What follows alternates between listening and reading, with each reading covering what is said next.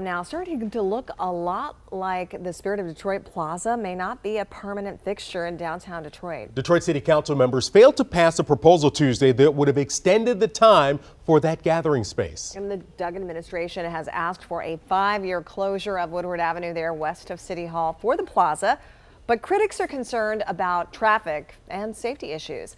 The plaza has been controversial since it first opened two years ago without input from City Council. The group has until 4 p.m. Monday to reconsider its vote. Without a reversal, that plaza will close by November.